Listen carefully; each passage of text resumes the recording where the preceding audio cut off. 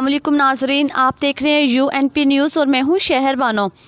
खबर शामिल करते हैं, सऊदी अरब के दारकूमत रियाज में पाकिस्तानी सफारत खाने में इंडिया की जेर कंट्रोल कश्मीर में इंसानी हकूक और ख़त्े के अमन के मौजू पर सेमिनार। देखते हैं डॉक्टर वकास खुरम की रिपोर्ट। सऊदी अरब के दारकूमत रियाज में पाकिस्तानी सफारत खाने में इंडिया की जेर कंट्रोल कश्मीर में इंसानी हकूक और ख़त्े के अमन के मौजू पर सेमिनार हुआ, जिसमें इस्लामी फ़ौजी इतिहाद के कमांडर जनरल राहील शरीफ, सबक सऊदी सफ़ीर अली, आवाज़ असीरी, पाकिस्तानी सफ़ीर राजा अली जा सिफारती